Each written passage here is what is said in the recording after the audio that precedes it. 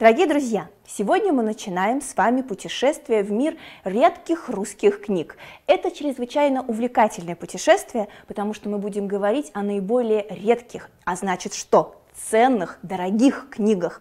И наша первая встреча с вами сегодня будет посвящена первым э, дебютным книгам русских писателей. На экране вы видите э, перечень наших изданий, о которых мы кратко поговорим сегодня. И начнем, конечно, с нашего всего Александра Сергеевича Пушкина. С его первой книги, я думаю, что вы прекрасно знаете, что это за книга, Руслан и Людмила, поэма, э, год издания 1820, Санкт-Петербург, типографии Греча. Что интересного связано с ее изданием? Дело в том, что, ну, представьте себе, 19-летний Александр Сергеевич Пушкин а, впервые начинают о нем много говорить в салонах Петербурга, ходят списки с его стихотворений. Стихотворения все очень дерзкие, злые. Они направлены против кого? Против императора Александра I. А, и, конечно же, это все распространяется, шум вокруг него все больше и больше. И что предпринимает император, который очень отличался таким а, нравом, а, особым, ревностным, что ли, к критике.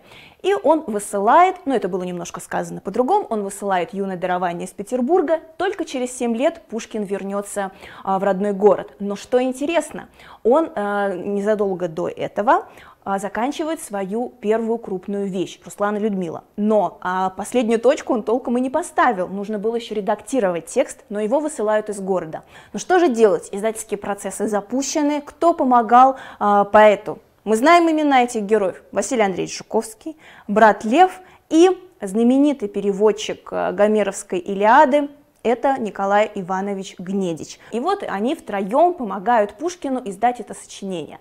Но, понимаете, проблема же в другом была, как оформить это издание. И вот тогда сюрприз, значит, нашему поэту. Дело в том, что директор Академии художеств, публичной библиотеки в Петербурге Алексей Николаевич Оленин придумывает вот этот красивейший фронтиспис, который вы видите на своих экранах.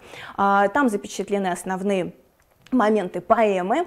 А, и, правда, не он рисовал и гравировал, но именно с этим фронтисписом и связана самая а, интересная история этой книги. Дело в том, что а, он не был закончен к моменту уже выхода из печати самой книги, и картинку, как сообщали газеты того времени, приходилось а, уже э, потом получать а, владельцам книг, но, правда, бесплатно, дополнительно надо было приложить усилия. Не каждый это сделал, и поэтому не каждый экземпляр Русланы Людмилы, первой книги Пушкина, снабжен вот таким замечательным фронтисписом.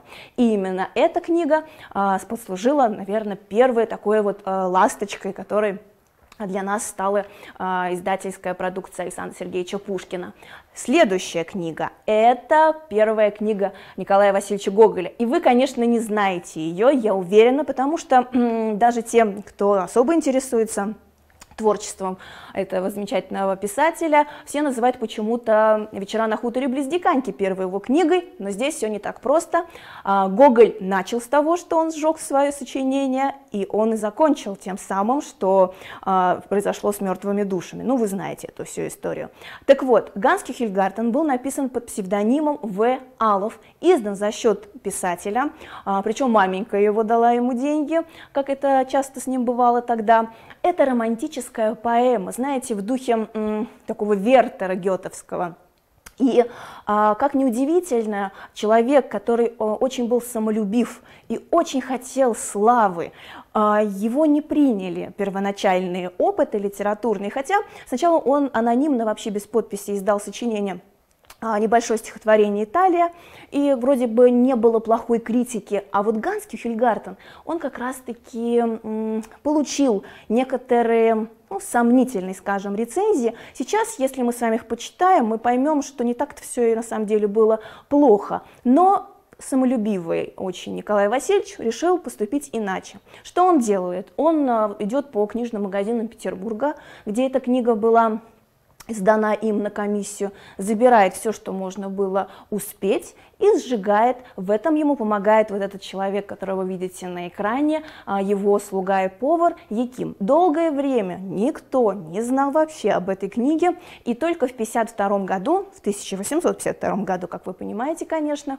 а, уже после смерти писателя, о ней написал со слов друга гимназического а, Гоголя Прокоповича, его первый биограф Кулиш. Так, что же дальше? Мы идем с вами, и перед нами уже первая книга Николая Алексеевича Некрасова. Вот вы видите ее такую желтенькую обложку, она еще бывает а, зеленого цвета. Здесь тоже интересная история. А, считалось очень долгое время, что это одна из вообще редчайших русских книг, потому что то, что мы с вами сейчас говорили, а, где-то Гоголя известны экземпляры 9, а, Гански Хильгартена, у Пушкина, я бы сказала, значительно больше, но все-таки как первая книга такого крупного поэта она хорошо ценится. Вот с Некрасовым вообще такая существовала легенда о ее редкости. На самом деле сейчас мы с вами видим, что и на аукционах она проходит, и в частных коллекциях представлена, и в государственных собраниях тоже.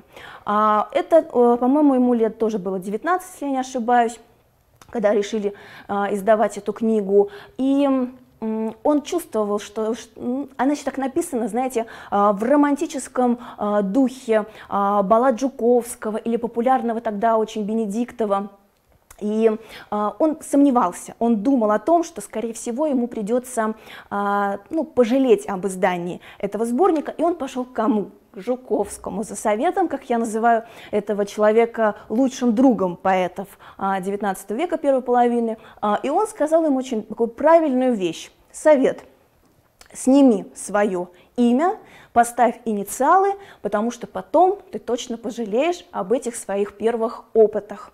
И э, Некрасов так и сделал, так и поступил, и оказался прав, э, потому что, ну, посмотрите, у вас будет возможность на оглавление этого сборника. Ну, в общем, конечно, даже название нам дают понять, что книга, ну, скажем, э, второстепенная. Но, что важно – а, благодаря ей а, Некрасов вошел в литературный мир, и о нем узнали. Также считается, что он уничтожал ее, что, скорее всего, неправда. Но мы сейчас с вами поговорим о книжных мифах в других э, лекциях. Что далее у нас с вами? А вот эта книга «Лирический пантеон Фета», также 1840 года, как и у Некрасова, это, пожалуй, действительно одна из самых редких русских поэтических книг. Очень интересно для вас, молодые люди, то, что а, из, на деньги на издание этой книги дала м, тогдашняя возлюбленная Фета, некая по-моему, Екатерина, если я не ошибаюсь, 300 рублей ассигнациями. Это нам точно доподлинно известно. Конечно, потом они расстались, ну, всякое бывает. А, что здесь интересного? Если на книгу Некрасова а, было из семи 5 положительных рецензий, то здесь тоже были достаточно такие а, комплементарные, я бы сказала, отклики. А, главные рецензенты сходились на том, что книга действительно неплохая для начинающего. В дальнейшем, конечно же, она будет, э, э, ну, творчество этого начинающего поэта только-только улучшаться. И здесь тоже Фет предпринимает тот же шаг, что и Некрасов. Он ставит инициалы А, F. И таким образом книга увидит свет. Вот здесь тоже я вам показываю оглавление творчайшего сборника, но наше путешествие продолжается. И вот последняя книга, которую мы с вами должны рассказать, это книга а, рассказ Параша в стихах а, Санкт-Петербург 1843 год. Это очень важный а, год для автора. А кто же автор? Посмотрите, инициалы Т, Л. Кто за ними скрылся? Тургенев, Лутовинов, то бишь Иван Сергеевич Тургенев. 43 год для него был очень хороший, потому что первое, выходит его первая книга, он знакомится с Белинским, который очень много сделал для издания ее, потому что он прочитал в рукописи, он дальше потом рекламировал в своих рецензиях ее. Книга имела феноменальный успех, ну, потому что из пяти книг, о которых я сегодня рассказываю, по сути, только пушкинская книга Руслана Людмилы имела такой читательский успех, ну и Параша, конечно. И затем а, вот эта дружба, она была а, закреплена тем самым образом, что Тургенев стал крестным отцом для ребенка Белинского. Ну, таким образом, наше путешествие с вами подошло к концу, и я думаю, я должна задать вам последний вопрос. Как вы думаете, после того, как Николай Васильевич Гоголь, Гоголь решил сжечь все доступные ему экземпляры Ганса Кюхельгартена, что он сделал? Каким образом он решил развлечься и забыть свое издательское фиаско?